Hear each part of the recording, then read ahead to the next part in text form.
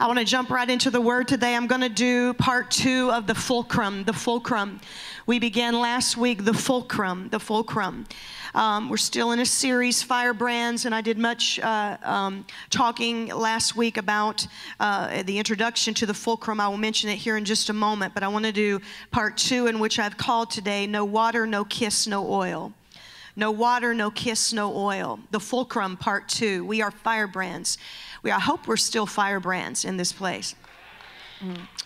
We, we are, we are. The fulcrum, the fulcrum part two no water, no kiss, no oil. No water, no kiss, no oil. Let's begin with reading Luke chapter 7, verse 44. Then turning to the woman, he, Jesus, said to Simon, who is a Pharisee, Simon was a Pharisee. Jesus was in the house of Simon, who was a Pharisee. Jesus was in his house.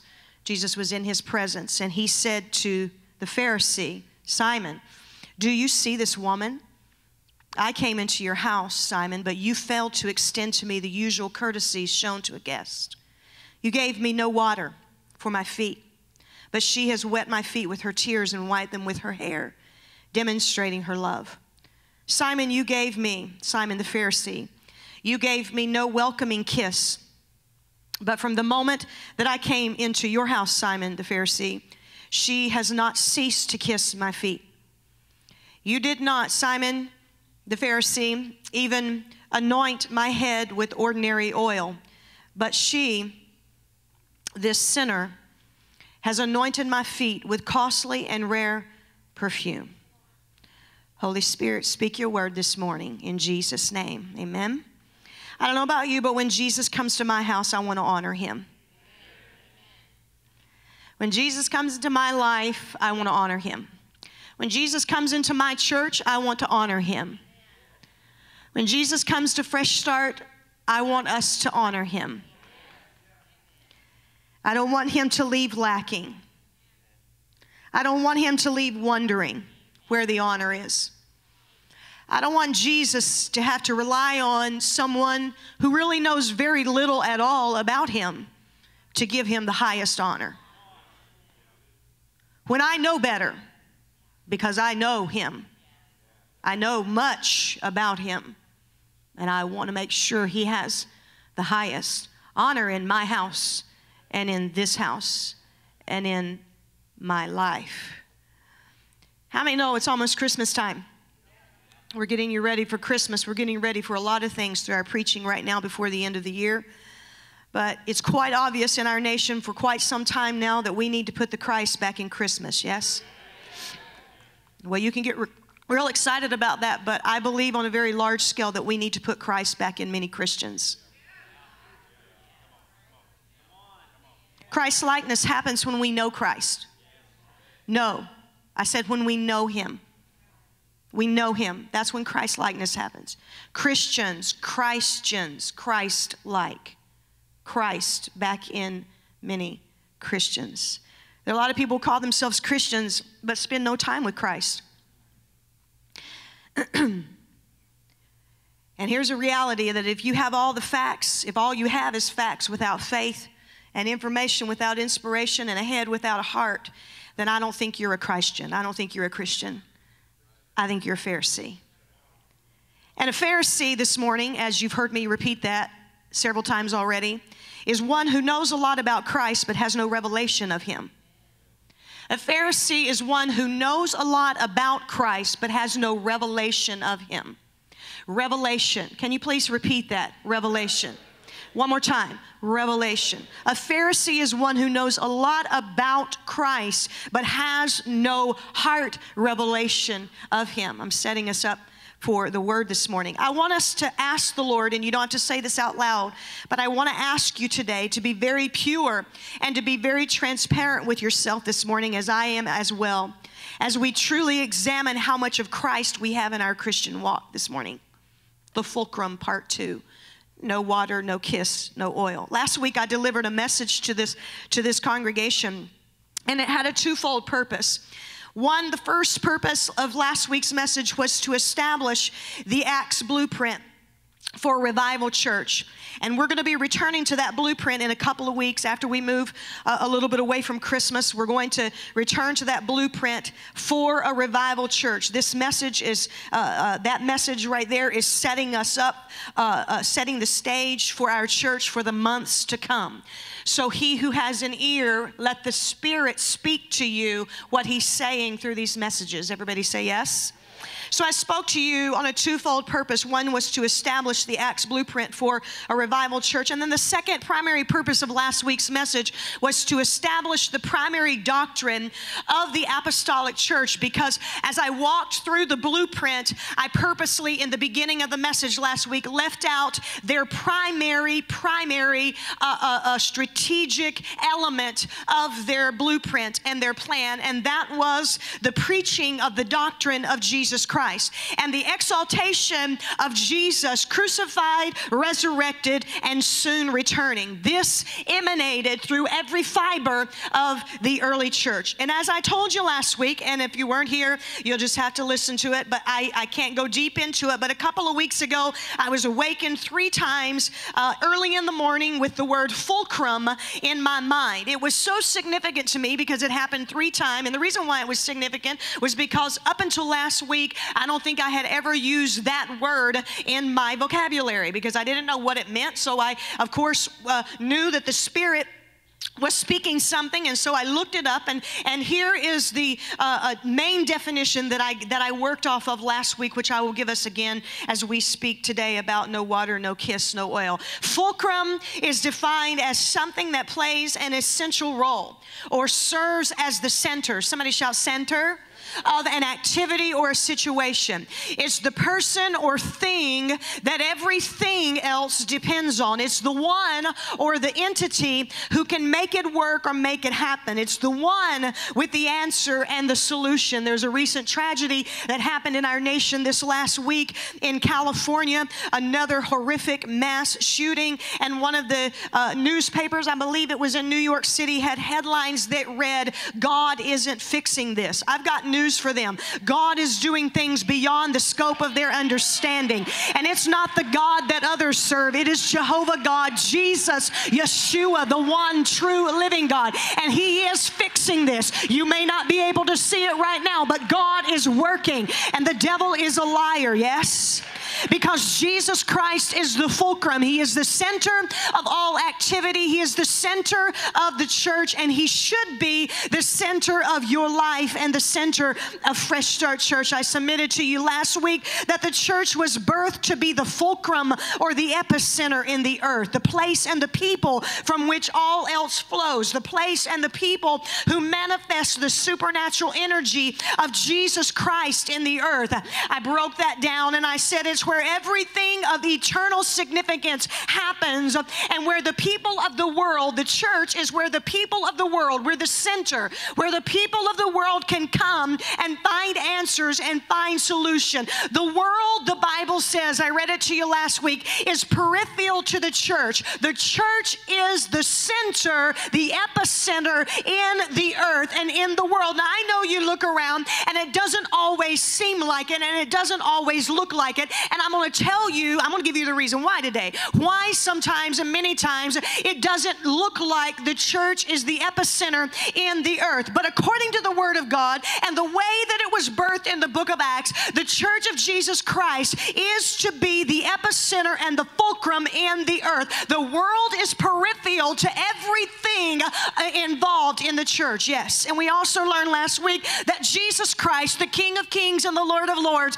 is the ultimate eternal eternal fulcrum. He is the center of everything. He holds, the Bible says, all things together by the power of His word. Some of y'all don't get that. But let me just tell you there are some things called the laws of the universe and the laws that are at work. Did you know who set those into motion? It was our God, it was Jesus Christ. And those laws of the universe, they don't just happen by accident, they happen because every single day that we live, Jesus Christ utters his words, and the laws of the universe respond to the words of Jesus Christ. If it were not for his words, this earth would fall off of its axis, it would fall out of the rotation. you and I would fall off and die and go somewhere. I don't know. If it wasn't for Jesus Christ, your life, this planet, everything that exists would absolutely fall apart because His words are what holding it all together right now. He is the glue to everything, planets, people, and purposes. He is the center. And as I said last week, he was the central focus of the apostolic preaching. They had an obsession with Jesus Christ.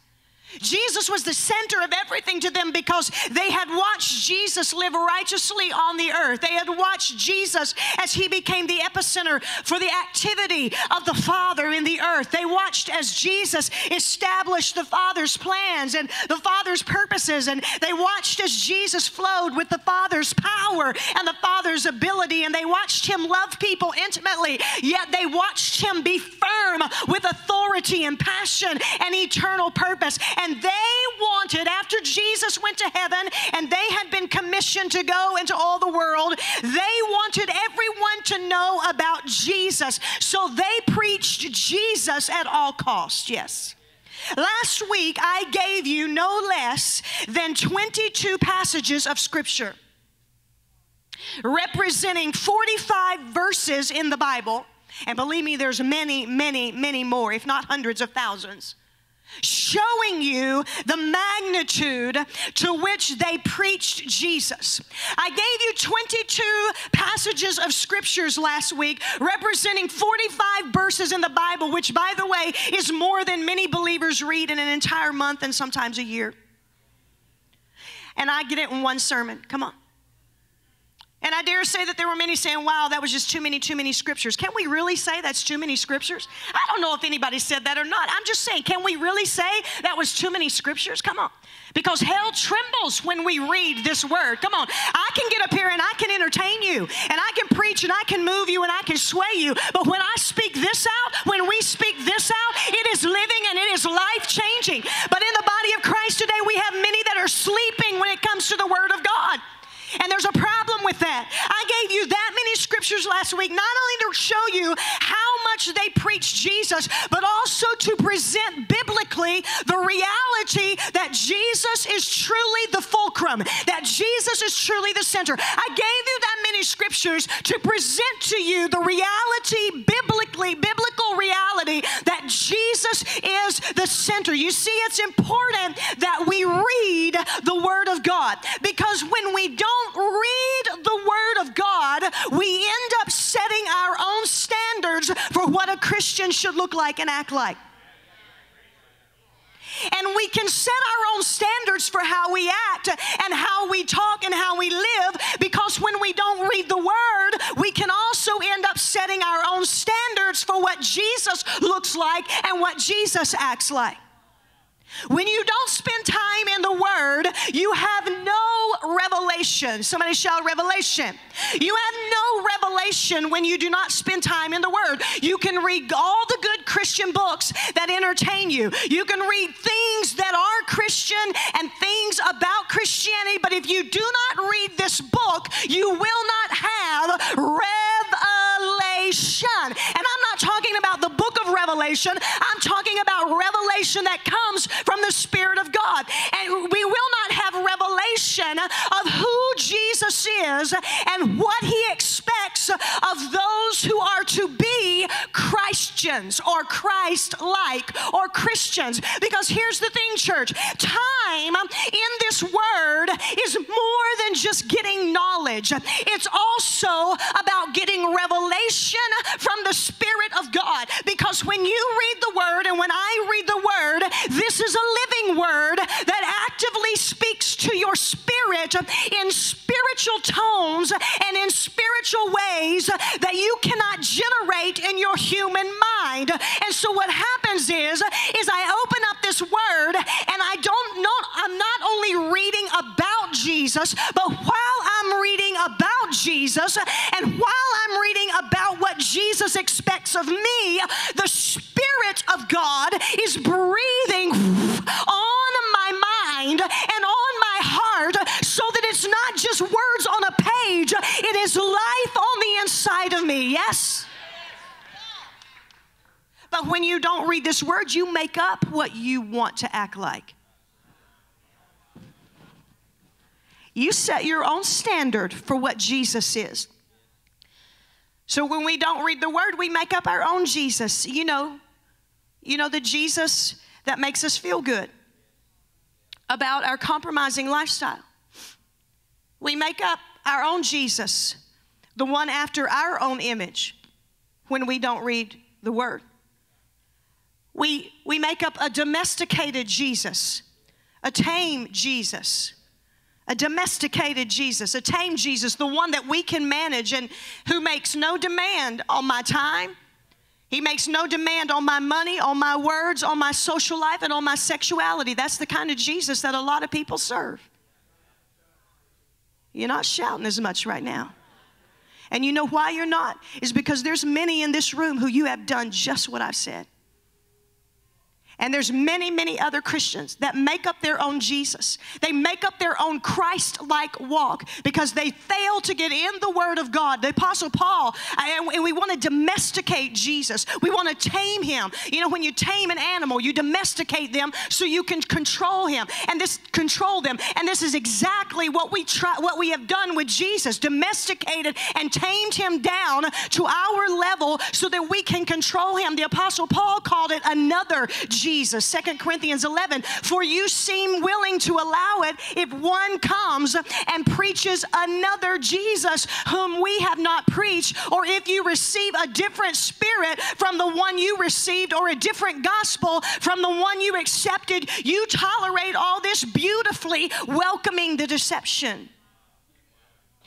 Proverbs 29 18 came to my mind as I was studying and preparing for this word today. And it says this in the Amplified, and you need to read it in the Amplified because this really lays out. See, we use this verse where there is no uh, vision, uh, the people perish. We use this for casting vision in local churches, for casting vision for our ministries, for, for our lives. If I don't get a vision, and that's all good and that's all fine, and it sort of can be used that way. But this is not really what Proverbs was saying here. It is saying where there is no revelation of God and His Word, where there is no revelation of God and where there is not a revelation of His Word, the people are unrestrained. But happy and blessed is he who keeps the law, the Word of God. What are you saying? The Word is telling us where there is no revelation of Jesus Christ from His Word, you and I will live an unrestrained, uncontrolled, unchecked, unbridled, and an excessive lifestyle that caters to our definition of what a Christian should look like, yes? This is why we must have revelation of Jesus Christ. And I'm going to prove to you today that you cannot go off someone else's description of Jesus Christ and call him Lord in your life. You cannot go off of my revelation, his revelation, Billy Graham's revelation, anybody else's revelation, and call him Lord of your life. You must have your own personal revelation of Jesus Christ, the King of Kings.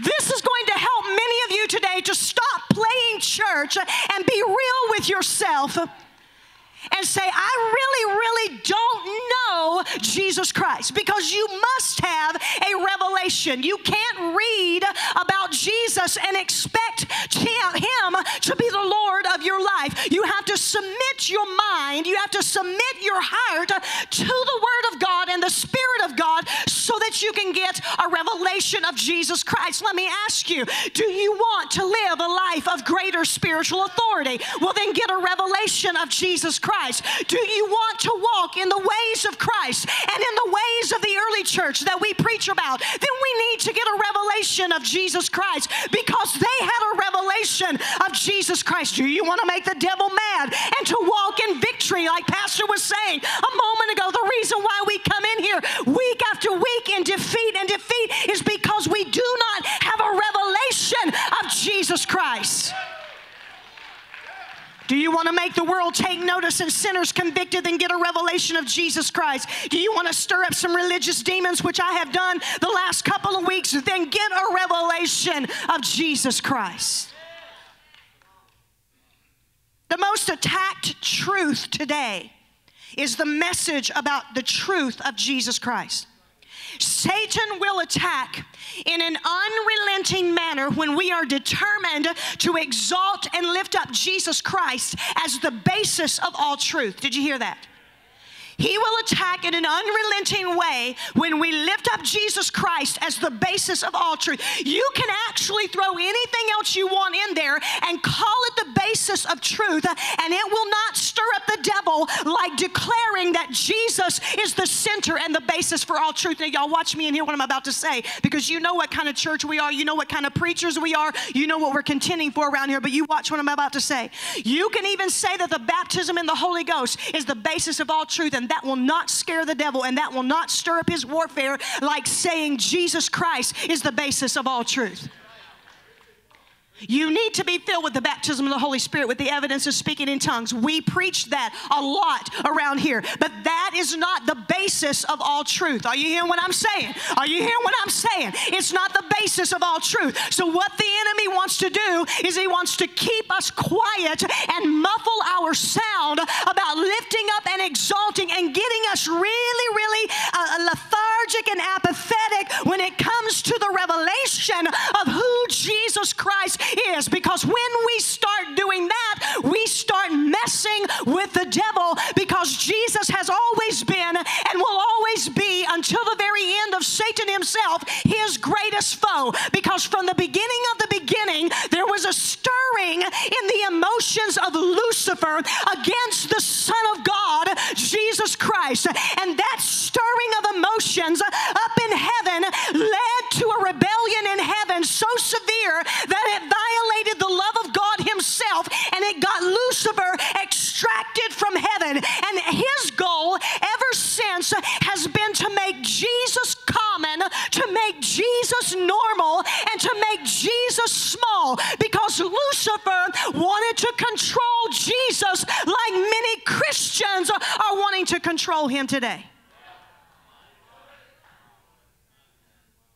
We align with Lucifer when we domesticate and we tame Jesus. He wants to make him common, normal, and small, but Jesus Christ is the same yesterday, today, and forever, who was and is and is to come. And he is not common, but he is extraordinary. He is not normal, but he is beyond comp- human comprehension. And he is not small, but he is the great I am. We cannot make him common. We cannot reduce him to somebody. Not somebody like you would say in the house when you're trying to say somebody. Did y'all get that? But a buddy. We can't reduce him to a buddy. We can't reduce him to common because he is holy, righteous. The Bible tells us that right now he is riding a white horse, or at least he's getting ready to. He's not a baby in a manger today. Now, y'all look at me. The service next week is the sermon in the service next week is going to be very different than what you're hearing today. And I, dear God in heaven, I hope this place is packed two times with sinners who need to hear that Jesus loves them and died for them and came to earth for them. Can you just ask one person to come to church with you next week and actually just get yourself here too? Amen? Mm. He's a ruling King of kings and Lord of lords. Jesus had the first word in the beginning. It was the Father who had the plan. It was Jesus who spoke the word. And it was the Spirit that hovered and released that creative ability in the beginning. Did you hear what I said? See, Jesus had the first word. And I want everybody in this room to know that Jesus will have the last word. Yes, He will. He is the Alpha, the Omega, the beginning, and the end. He will have the first yes and the last word. But I have to ask you a question today Who do you say that Jesus is in your life? Who do we say that He is in this church? Because who you say Jesus is determines the level of lordship, victory, and authority in your life as a Christian. Who you say Jesus is determines the amount of Christ in your Christian. Jesus asked his disciples in Matthew 16, Who do men say that I, the Son of Man, am? And they said, John the Baptist, Elijah, and others, Jeremiah. In our day and age that we live in today, there are Muslims, there are Mormons, and there are Jehovah Witnesses. And all of these will admit that Jesus lived and walked on this earth as a great prophet or a good man. But they will not declare that He is the basis of all truth.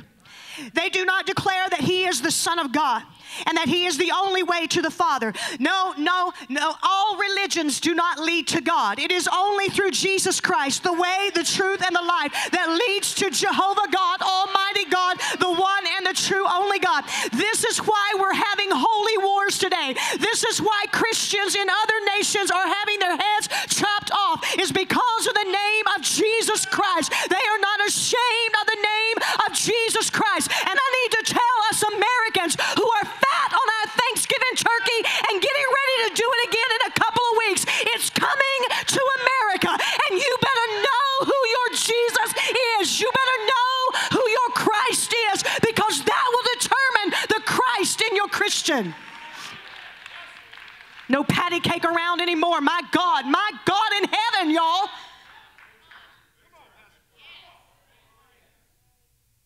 Even more deceptive than that, there are Christians with a little c, churches who preach another Jesus and call him grace, call him forgiving.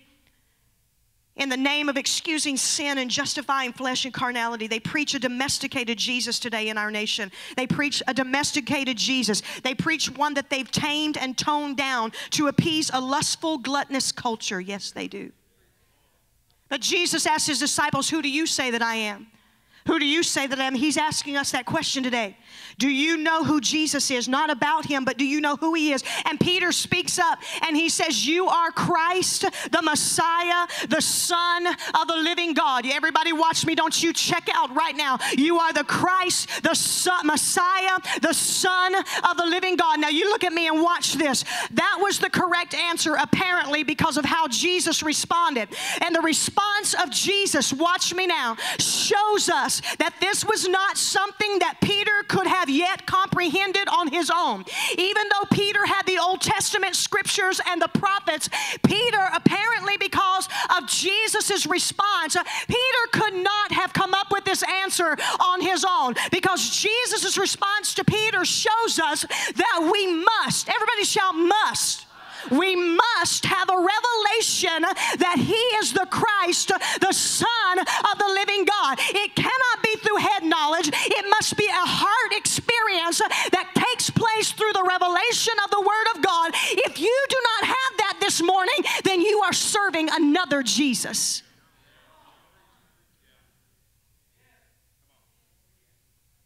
What is a revelation, Pastor Kim? Because I dare say there's many of you in this room, you don't even know what that is. You should. You should. A revelation is the difference between natural and supernatural. When I have a revelation of Jesus, it means that I ascertain at a level undetected by my natural radar and my natural understanding. It's a revelation, it's the difference between the natural and the supernatural. In other words, it's when I get into God's Word and I read the knowledge about Jesus Christ, the Son of the living God, the Messiah, but yet the Spirit, remember I told you the Father had a plan, Jesus spoke the Word, but the Spirit came and brought creative life over. And this is exactly what happens when we get a revelation of anything in the Word of God. It's something that I understand at a level now that I did not understand before I read it and, enter, and, and, and, and entertained the Spirit. It's, it's been undetected by my natural mind, but now my spirit has illuminated it to my natural mind. And because of that, I can walk at a higher level of authority and I can walk walk at a higher level of understanding because I have a revelation of Jesus Christ, not just knowledge about Him. And Jesus said, Peter, flesh and blood did not reveal this to you. That right there tells us that he had a revelation. But my Father revealed this to you. Revelation knowledge, it came straight from the throne of the Heavenly Father and the Spirit of God. The most important, church, the most important question in your life is what do you think of Jesus? Not do you like him and not even do you love him, but who do you imagine him to be in your quiet alone time? Because our thoughts of Jesus are too few and they are way too low. A low view of Jesus, A.W. Tozer says, keeps believers in bondage with a dull spirit and trapped in spiritual boredom. A low view of Jesus keeps believers in bondage with a dull spirit. Oh, my Lord in heaven. Why we have to come in and crank, crank, crank, crank, shout this, say this, jump this, clap this, do this. Baba, Baba, Baba, Baba, Baba, Baba gets old real fast when you're holding this mic and playing that keyboard. And yes, I'm pretending like I'm rapping because I need you to hear what I'm saying. We don't need to pump you up, we don't need to sell anything. If you have a revelation of who you're worshiping and a revelation of who you're serving. It gets old coming in here trying to crank you. It gets old coming in here trying to pump you up and get you excited and get you jumping. Church, we need a revelation of Jesus Christ. Not a natural understanding, not a natural head knowledge, but a supernatural understanding. You're going to be mundane, you're going to be bored to death. And your answer to who Jesus is determines whether you're going to run to Him in your weakness, in your sin, and in your boredom, and in, while you're pursuing your life purpose. Because in your weakness, He is your strength. In your sin, He is your Savior. In your boredom, He's the only one that's going to satisfy you. And while you're pursuing all this stuff you're pursuing in your life, He's going to be the stabilizer. That's Jesus Christ. A.W. Tozer said again, listen to this. What we think about God is the most important thing about us. The most revealing thing about the church is found in her ideas of Jesus. Her most significant message is what she says about him or leaves unsaid about him. Watch this now. A hundred lesser evils are caused by this one great lack of the knowledge of God. A hundred lesser evils are caused just because we don't have a revelation of the knowledge of the one that we say we serve. Mm. To operate in any level, according to the scriptures that I'm reading here out of Matthew, according to operate in any level of significant power and victory in the church and in your life and my life, it must be built, we must be built on the rock of revelation of the truth about Jesus Christ, the anointed one, the Messiah. Because it's with that revelation that Jesus goes on to say in that same scripture that we prevail over the gates of hell on this earth. It's through that revelation, it's not through our shouting as loud as we can. And we do a lot of, of that around here. But I'm, I'm, I'm teaching you something. If your shout doesn't have any clout, the devil is laughing at you. If you don't know your Jesus, if you don't have a revelation, you can shout all day. You can claim the things that Pastor was saying earlier all day long, but it's not going to come into your life. The devil laughs at you. But once you get the revelation of the truth of Jesus Christ, the anointed one, the Messiah, Jesus said that the gates of hell will not prevail against us, that we can bind and that we can loose God's blessing from heaven into the earth. Yes. And all of this is based on the revelation that Jesus Christ is the fulcrum. He's the center and the basis on which all else exists. Yes? We need today, as I told you at the end of last week's message, a fresh revelation of Jesus Christ. Paul said in Philippians 3 8, but more than that, I count everything as lost to compare to the priceless privilege and the supreme advantage of knowing Christ Jesus my Lord and of growing more deeply and thoroughly acquainted with Him. A joy that is unequaled. For His sake, I have lost everything and I consider it all garbage so that I may gain Christ. I've been asking the Lord this week for a Damascus Road experience. I need Jesus to come and knock me down. Come on, I don't necessarily want to be blinded, Lord, but I don't mind being knocked down. Amen. But whatever, Lord, because here's the thing Paul gave up everything as he saw the magnificence and the excellence of Jesus Christ, the King of Kings and the Lord of Lords. And if we can see, church, today in 2015, what Paul saw about Jesus, then we can live like the Apostle Paul lived. We can do the things that the Apostle Paul did when we see Jesus like he saw him. Yes.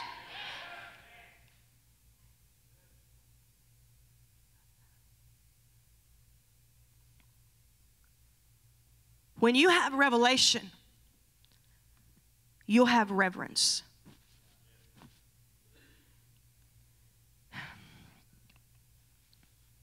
You'll have reverence.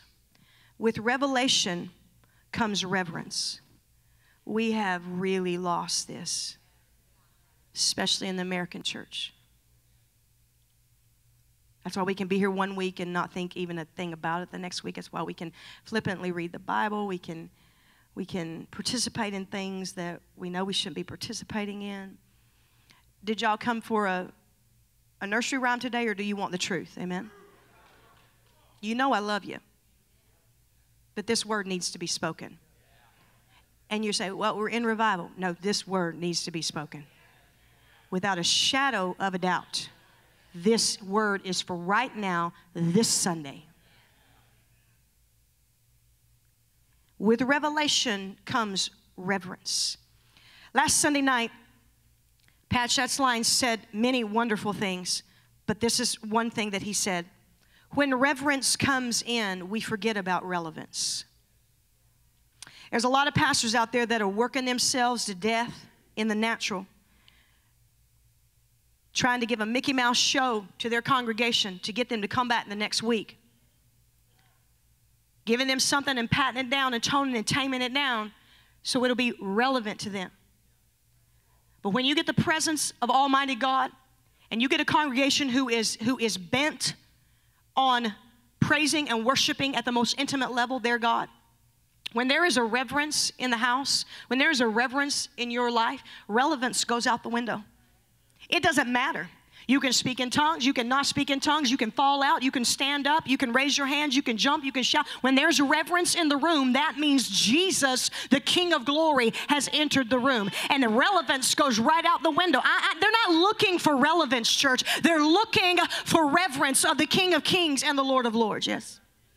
On Tuesday of this, this last week, I felt, felt the Holy Spirit speak this to me. Tell them they want a familiar Jesus. Now, this may or may not apply to you. I, am of, I'm of the conviction today that it applies to, to several in, in the room today. I, I, really, I, have prayed, I have prayed deeply into this all week.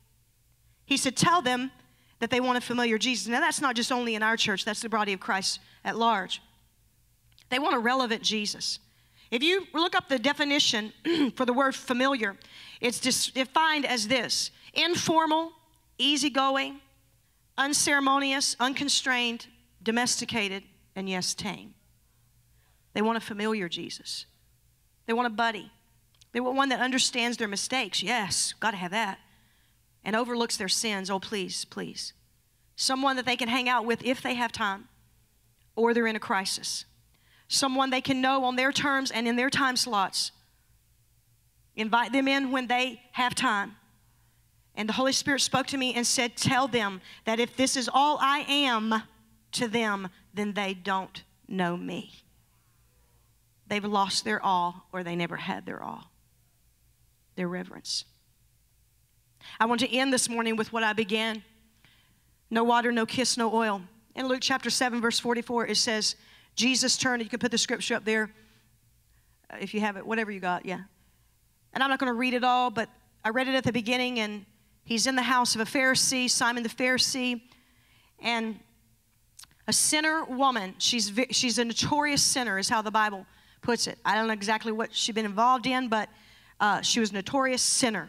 Came and had much reverence for Jesus Christ, the fulcrum. He said, Simon, Pharisee, you've not given me water, kiss, or any oil, but she has not ceased to wash my feet with her tears and wipe them with her hair, kiss my feet, and has anointed my feet with costly rare perfume. You see, he invited Jesus to dinner that day, and Jesus came. And no doubt he was feeling pretty good about himself. Jesus was the hot topic that, those days, yes. Jesus was, was the front line. Now, this was not an irreligious man, this was a man who was of the strictest religious order. He was a church goer. Are, y'all, are you hearing me? Are you hearing me? And while they were sitting at the table, this woman enters the room and she begins to do what I just described to you. And the Pharisee is offended. He's highly offended. First of all, that she's in his house. And second, she's a sinner in his house, and he did not invite her. And he's also probably a bit embarrassed because of this elaborate display of affection. And he thinks to himself, we know this because the Bible says this if Jesus were a real prophet, who do you say that he is? If Jesus were a real prophet, he would know that this woman is a sinner. But on the mind of Jesus that day wasn't that he was a religious man and she was a notorious sinner. On the mind of Jesus was the real issue, and that was always on Jesus' mind, the real issue. Who really loves me? That's what was on Jesus' mind that day. And who takes me for granted? That was what was on Jesus' mind that day. You see, because back in that day, nobody traveled for the fun of it like we do today. Nobody planned their vacation a year out. I'm going to do a cruise. I'm going to I'm going to go up here. I'm going to do this. Nobody did that back. But traveling back in those days was despised because it was hot. It was a dirty ordeal, and everyone avoided it if at all possible. And most people, and including Jesus and his disciples, they had to, of course, travel on foot. On foot, they had to walk wherever they went. So the ritual of taking care of the guests when they came into your home was a predictable pattern. In other words, this scripture, uh, this wasn't just making, the writer wasn't just making this up no water, no kiss, no oil. This was a predictable pattern that they were supposed to do as a, as a house guest when they came into your house because the guest had traveled far and it was hot, it was dusty, and it was dirty. And this pattern of care centered around the feet of the guest. So when you entered somebody's home, the host was to greet his his guests with a kiss on each side of their cheek and to offer water for their tired and their dirty feet. And if they had available some perfumed ointment or oil so that they could soothe them and they, and they would feel refreshed a little bit. But the Pharisee, and let me uh, uh, rep- repeat, a Pharisee is one who knows a lot about Christ but has no revelation of him. So the Pharisee, the Pharisee failed to provide Jesus, the one who knew the most about Jesus, the most had knowledge about Jesus, failed to provide him with even the most basic, usual, and customary courtesies that was given to guests. And so Jesus said in Luke 7 44, what some of those scriptures, you gave me no water for my feet, no kiss of greeting, and no oil for my head. What happened? What happened? The presence of Jesus was being taken for granted? Was it just a case of forgetfulness on the part of this Pharisee, or was it, could it have been something deeper uh, than what we perhaps read on the surface in the Word of God? Perhaps the Pharisee who knew so much in the head about Jesus and about the possible Messiah and all of the scriptures up to that point, perhaps he had become too familiar with Jesus, familiar, a tame Jesus. Oh, he's sitting here with me, and just a little bit too casual with the Son of God because from a distance uh, he was seeing Jesus. Uh, he was excited. I got to have this Jesus in my house because it's going to make me look good. It's going to make people are going to talk about me when Jesus is in the house. They're going to write letters about me and emails and Instagrams and Facebooks and this, that, and the other about me because Jesus is going to be in my house. But when Jesus got in the house of the Pharisee that day, because Jesus was in the flesh as man, as God, he was now sitting there at his own table in his own house. And this Pharisee saw that Jesus was a man. He could not perceive by the Spirit because his spirit was closed. And maybe he just came to believe that Jesus was someone that was not too unlike himself. Oh, it's only Jesus. Let him get his own water, his own uh, stuff, and wash his own self. Can I just say that that is the danger of familiarity?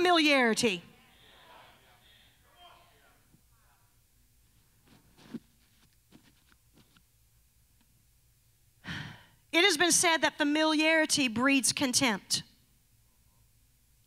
In the beginning, we covet the presence of the Lord. And perhaps today we take him for granted. In the beginning, we're awed by him, but not so amazed today. His visits are more routine, more ordinary, more commonplace. The songs we sing are, are habit. The Bible we read is old and dry. The testimonies that we hear, oh, we've heard that, we've seen that before. Familiarity breeds contempt. Please, fresh start. This is a word for today to us and a warning about treating this revival with familiarity.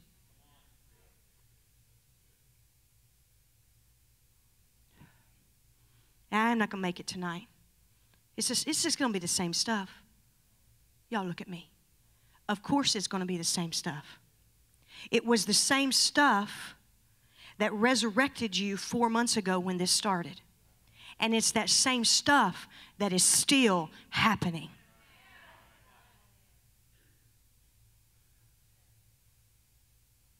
Familiarity breeds contempt.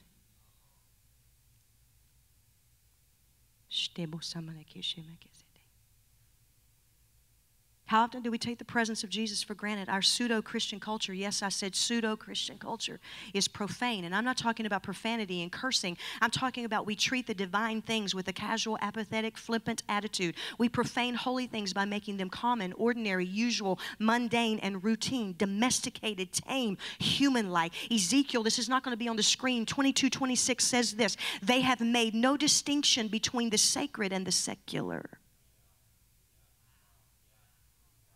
I ain't got time to make it back. I'm tired. I work all week.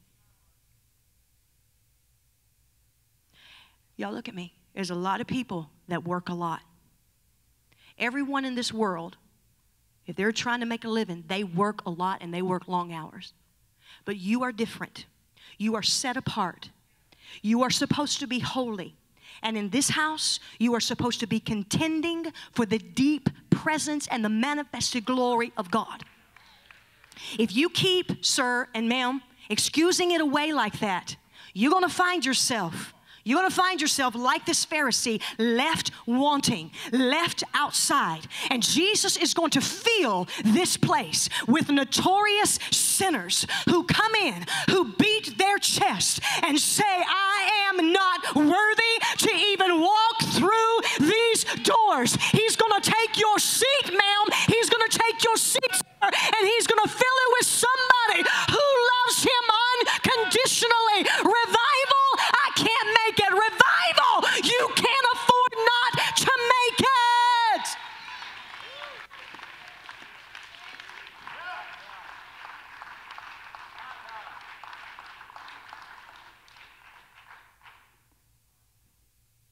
No distinction between the sacred and the secular. Interesting enough, it's only those who are who are who know the holy who are in danger of becoming too familiar with it. Unbelievers don't have that danger taking him for granted. She washed my feet, Luke 7, with her tears, wiped them with her hair. She's not stopped kissing my feet. She's anointed my feet with ointment. When Jesus enters our house, whether it's our place of worship here at Fresh Start, our home, our life, we must not take him for granted. Pastor Pat said something else last week that I want to repeat. Oh my God. And this next statement that I'm about to say was said during the altar call on Sunday night. And when he said this, and I'm going to explain to you, especially to this service, I'm going to explain to you why the Lord is speaking to us like this this morning. He spoke this word, and, and, and we had saw him just briefly in the, in the ready room back here before we came out on revival. Pastor Sean picked him up. We had not seen him. And he comes out and he says this This is holy ground. Be careful what you do when you enter this place. Will we dare even treat just one Sunday, Fresh Start, as familiar in this place? One Sunday where God has graced us with His presence and the altars have been kissed by His glory. We have people on a regular basis, regular basis, coming into this place and saying, It's been, it's been forever since I've felt anything like this. I'm not saying that to lift us up and pat us on the back, but we've been contending for this for a really long time around here. And we're four months into this, getting ready to start our fifth month. Do we dare, dare take one Sunday for granted? Last Sunday in this service, in the first service, and I'm well aware that, that there are, actually, there's quite a few that didn't make it back today from last week. And I know there's you guys flip flop back and forth sometimes from first service, to second service, second service, and uh, he's here for support. I know he is this morning. And I know that not everybody comes every week, so maybe you weren't here last week, but let me just tell you something. I need to address something this morning as I speak to us on familiarity breeds contempt. Last week was probably one of the top five, I think. First service, most difficult services that I have ever had to preach in. Last week, in this service, first service. And you occasionally have those times as preachers, and we have a few preachers in the room. You know what I'm talking about. You occasionally have those times. But last week was different. But the first thing I didn't, I, I, I left the stage last week, the, the platform, and I went back there and I said, Lord, I know you gave me that word. I prayed, I studied just as hard as I ever do. What is happening? What is up? I talked about Jesus. My God, they should be excited about Jesus. But there was a very sleepy, lethargic, apathetic atmosphere. I'm speaking as a mom of the house right now, yes? I began to analyze the right word, and I, and I, I really honestly I felt the Holy Spirit say it's not the word. And then I began, we began to talk about it. He felt it. Pastor James felt it. Matt felt it. Ron felt it. Pastor Jessica, David felt it. Pastor Sean wasn't even in here, but he felt it. He's teaching a class right now, and he told us in the staff meeting, he said, There was a certain time. He said, I looked at my watch, and I knew that it was during the preaching time. He said, I felt this, and he began to describe exactly what I was feeling while I was standing up here. He said, I even began to up my, up my teaching at that moment. He said, Because of the oppression and the heaviness and the wet blanket that I felt. It was all over the campus. Pastor Rosalinda says, she said, I couldn't get the kids. We're having revival with the kids right now. Come on, this is a family come to Jesus meeting today. She said, I couldn't get the kids to pray. These are kids that are getting baptized in the Holy Ghost left and right. These are kids that are laying hands on one. She said, I couldn't get them in preheat prayer. I couldn't get them to pray. She said, I began to get frustrated and agitated. My husband said he had a frustrated uh, spirit, uh, frustration in his spirit. I told the revival and the altar uh, at the end. I preached the entire first service after about the first couple of pages of notes, entirely mad up here. Come on. Yeah, I was a little bit mad at y'all, but I was more mad at the devil. And I'm gonna tell you what else. I was more mad at myself, and not, not because I didn't think I had the right word, but because I wanted to know what demon I had come up against that I could not penetrate. Because here's the thing, fresh start, first service, people. Here's the thing there are demons that we are awakening right now. And what those demons that we are awakening are doing is they are putting you to sleep. And they're putting you to sleep at a very convenient time in the Christmas season of the year when it's supposed to be about Jesus. And he's saying, lull them to sleep, lull them in apathy, get them to come on into church, but don't let them lift their praise, don't let them come into agreement.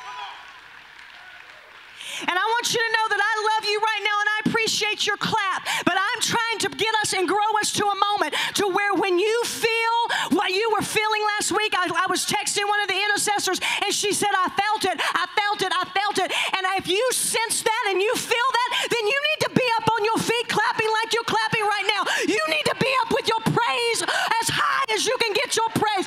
It's not just when I feel like it and I feel like Pastor Paul and Pastor Kim are doing a good job. I do it because Jesus is in the house and I have a revelation that He is King of Kings and Lord of Lords. Yes, yes, yes. Mad at the devil. Be seated because I got to teach you a couple more things. We begin to rationalize it out as we talked about it in our staff meeting. There were lots of visitors here last week because, because you, some of y'all brought your family, and we love that. We love it on holiday weeks when you bring your family. But y'all, you can't pretend when your family is here. Why are you all pretending when your family's here? Why are you pretending you're something else when that's not who you are today or who you were the week before?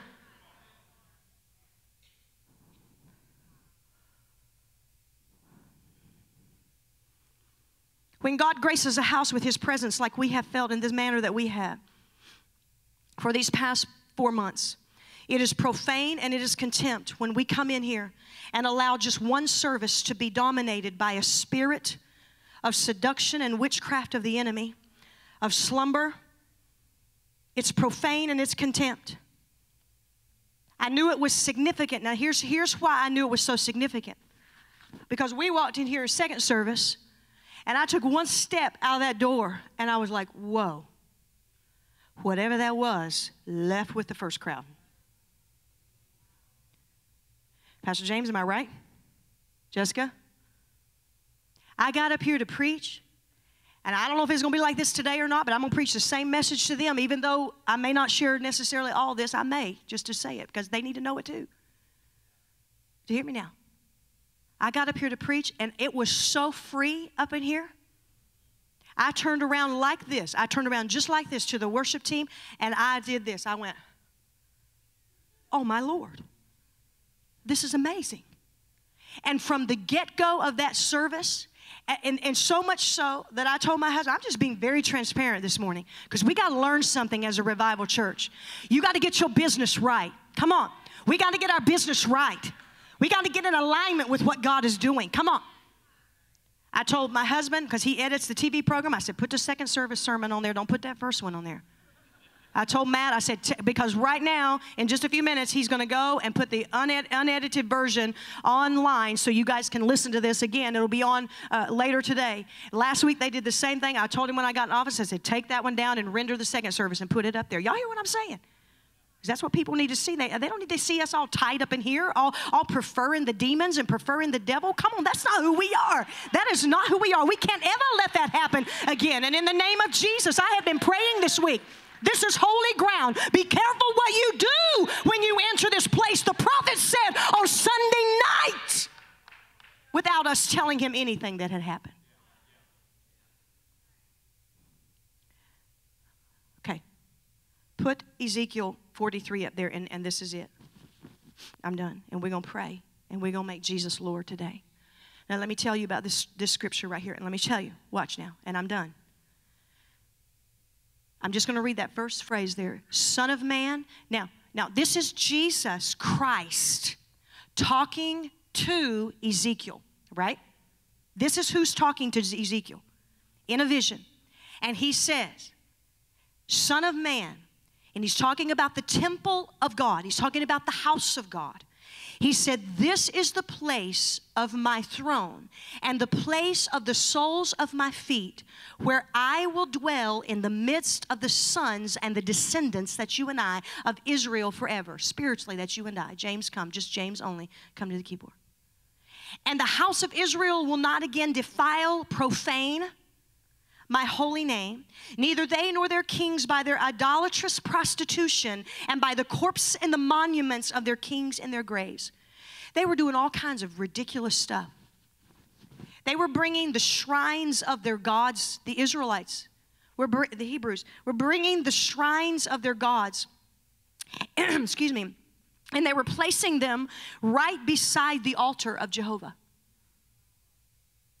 They were doing all kinds of profane things.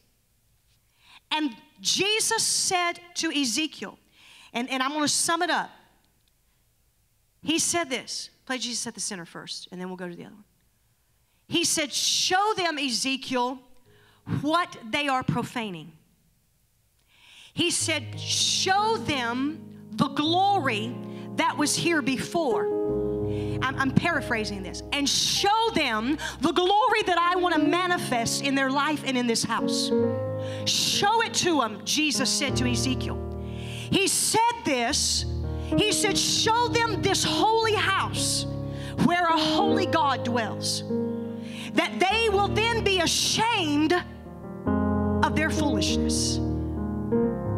Their name, their profession, their temple, their religious services, all them to a holy life. Jesus was telling this to Ezekiel. All that is within them should be holiness to the Lord, he said. But no, Jesus said to Ezekiel, they have been bound by no ties, they've cast off restraint because they had no revelation. They have sinned against all their obligations. Watch what I'm about to say. Nevertheless, Jesus told Ezekiel, let them see the glory so that they can measure their pattern by that pattern. Let them see the rule by which they should be walking in, and let them measure themselves by that standard and walk accordingly. Wow. This is the place of my throne and the place of the soles of my feet, where I will dwell in the midst of the sons and the daughters of God. Invade.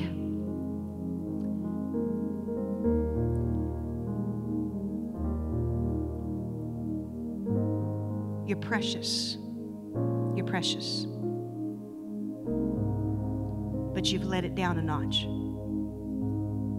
You can't take for granted and ride on all the adults' prayers. When you can engage on a Sunday morning like you will tonight, then you've had a revelation of Jesus Christ. Until then, He's just knowledge. I love you jumping and don't stop jumping. I love your worship and don't stop worshiping. But until that element pervades every single place that you go, any worship service with any music that you have in front of you, you have not had a revelation of Jesus Christ. Adults, when you stop passing off Sunday night as a youth thing,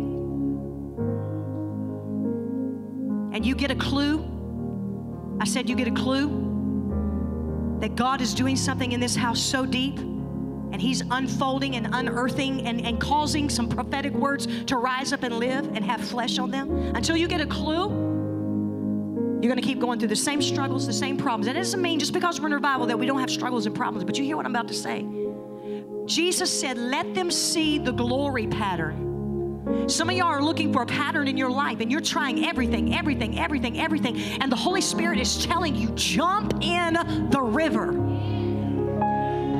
Jump in the river and follow that pattern. That pattern. Some of y'all are messing up royally right now because you're doing things in your own mind, in your own way, in your own thoughts, with your own fleshly mind and plans, and you're going to get yourself in a big mess if you don't wake up and get in the river where the glory is. There's a pattern in the river where the glory is. Jesus Christ is an eternal Lord. He's not a 2015 Jesus. He's not a Jesus that just is for the day we live in today. He's eternal. And because He is eternal, His standards are higher and His ways are greater than anything that we can conjure up right now. The Word of God is very clear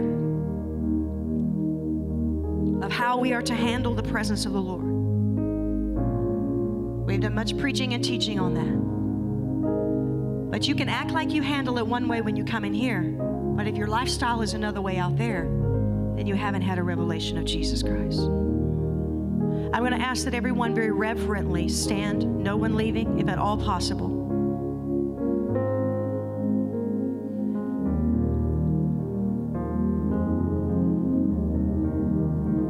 And close your eyes and lift your hearts. Father, in the name of Jesus, we invite you to be the center of our lives, center of our church, the center of our families, our home.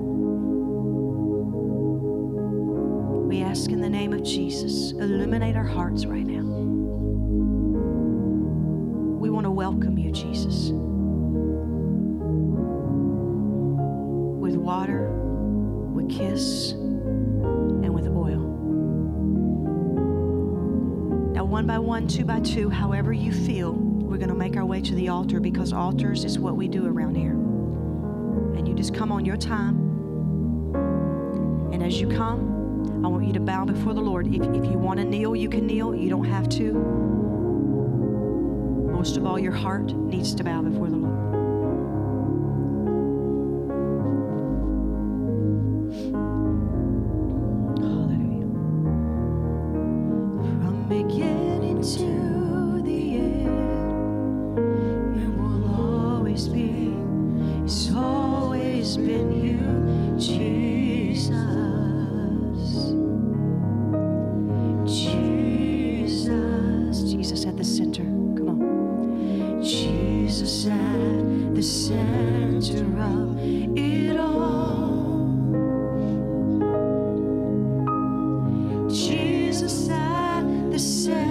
Center of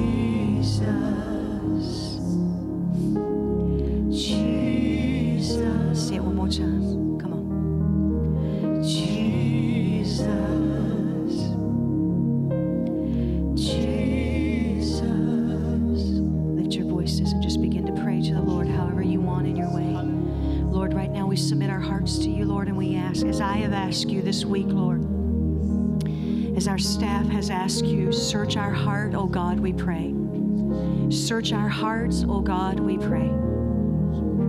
See if there be any wrong way in us, Lord God, and lead us in the way everlasting.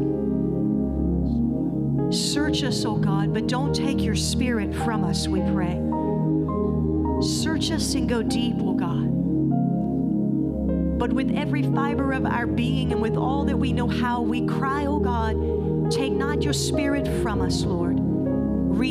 The joy of our salvation this morning, O God. Dig deep on the inside of us and cultivate within us, O Lord, a passion and a love, Lord. Father, we ask forgiveness in your name for taking anything for granted, Lord. Lord, we ask forgiveness today that we have been so busy, yes, busy, busy about our own agendas and our own plans, our own purposes, oh Lord God. Busy, Lord, about this holiday season that we say it's about you, but we make it about us. And God, we repent today, Father, in the name of your Son, Jesus. And we say, Forgive us, O Lord. And today, bring us full circle. Bring revival in this place this morning, God. Bring revival right now. Right now, is when we need revival. We need it now. We need it on Sunday morning, and we need it in this first service, Lord. We need revival. We need revival. We don't want to be people that just come and get church out of the way so I can have the rest of my day. First service, that we can get church out of the way so I can have the rest of my day. That's not what it can be about. Holy, holy, holy, holy are you, Lord. Righteous, prostrate ourselves before you today. Show us your glory so we'll so we'll know the pattern, Lord. Show us what we need to compare it to, Lord, in the name of Jesus. Lord, Lord, Lord, Lord, Lord, Lord. Oh, we submit ourselves to you. We submit ourselves to your way. We submit ourselves to your name. We submit ourselves to your glory, God.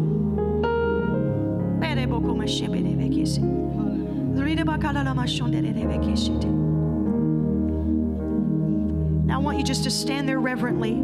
I feel prompted by the Holy Spirit that I need to say this and hear my heart. Church, and, and if you don't mind, just close your eyes. Just receive this this morning. If your pastor and I, and even the evangelists that come through this house, have to keep bringing us back to this point that I am today, revival will not last much longer. It will not. We must be all in. All must be all in. If we have to keep doing this, it's not going to last much longer because there's a lot of other things that have our attention and our time. Now I'm going to let you go, but hear what I'm about to say. Many of you have come to Fresh Start for quite some time, many of you a very long time. And you've heard me preach a myriad of sermons, if that's the right word, a lot of them on different topics. And by no means am I apologizing for what I preached this morning, absolutely not. But I want you to know this is that your pastor and I are all in. Our staff, we're all in. We're not perfect, but we're all in. And I love you. And I want to see God's best for you. But even greater than that, I want to see God's purposes prevail in a city that desperately needs an encounter with the tangible glory of God. And because of that, I have to preach like this. Receive it in love. If I've offended you, then Jesus offended some people too. But we need to hear this. Next week, we're going to be celebrating Christmas, Christ. Your pastor and I will be preaching the services together next week. It will be a very different message, as I've already said. You need to bring someone who needs Jesus. Because this Jesus that we serve is very mighty and he's very awesome. He's not a baby in a manger anymore, he is a soon coming king. If you will allow me to read a few more passages of scripture before I let you go. Isaiah says a very Christmas scripture that we use. For unto us is born today, a son is given to us, a child is born to us, and the government, the authority will rest on his shoulders. This is who we're going to be celebrating next week, y'all. And he will be called Wonderful Counselor, Mighty God, Everlasting Father, Prince of Peace. His government and authority and its peace will never end. And he will rule with with justice from the throne of his ancestor David for all eternity.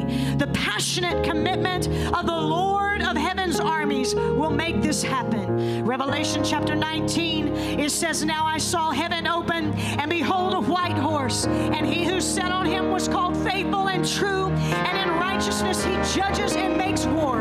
His eyes are like flames of fire, his head are many crowns.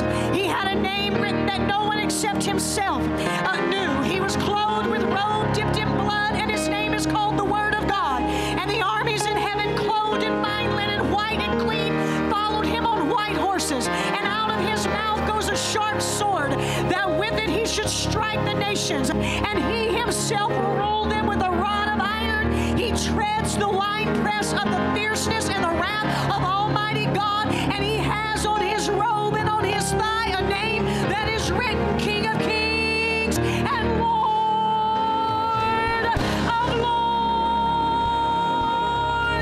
Put your hands together because this is the Jesus that we reverence.